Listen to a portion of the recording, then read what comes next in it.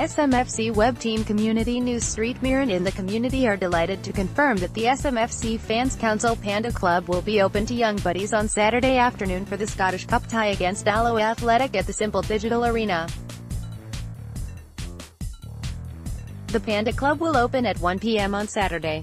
Parents please note that you should pick up your kids after the final whistle from the community office at 5 p.m. Participants can look forward to pre-match football activities delivered by qualified St. Mirren FC coaches inside the Airdome. The Panda Club is open to boys and girls aged 5 to 12 years old and costs £3 per child for the coaching session. The match ticket is provided free of charge.